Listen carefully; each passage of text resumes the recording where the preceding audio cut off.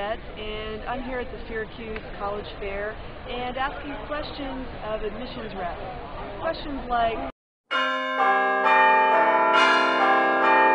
think college fairs are a terrific opportunity for students and their families to really learn about different colleges and universities that might be scattered around the country that perhaps they wouldn't have the opportunity to uh, run into on just a, a, regional fair or if they were visiting colleges in just one specific place.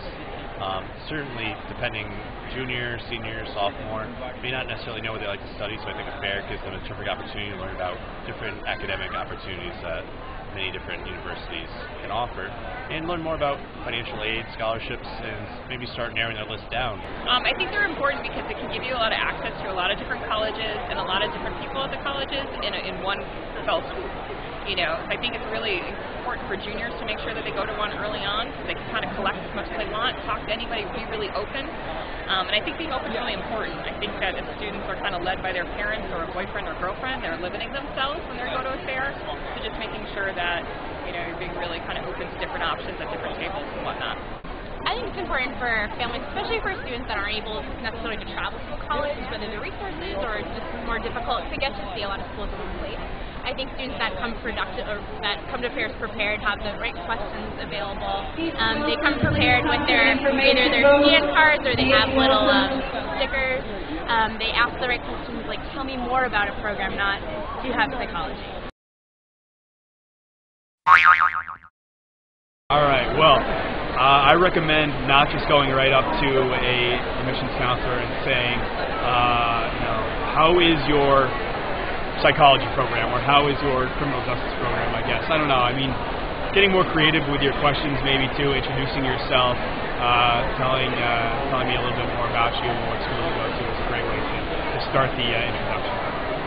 I think one of the most important things for college fairs in particular is getting to know the counselor.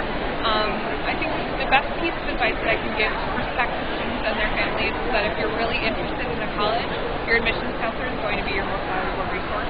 Um, they're going to have information about the college. If you feel as though your application or grades might not be as good as they should be, they can advocate for you if they know of your situation.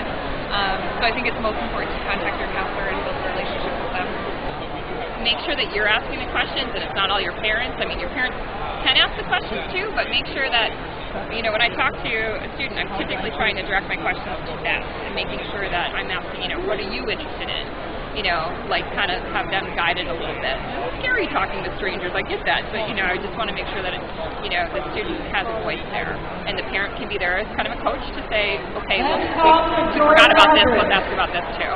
So.